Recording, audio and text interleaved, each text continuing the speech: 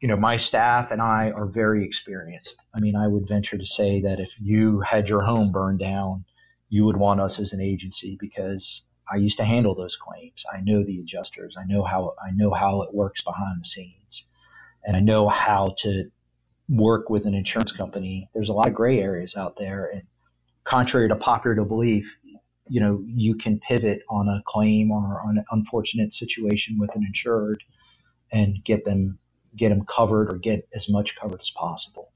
It's a lot of little nuances and tricks of the trade that you learn over the years.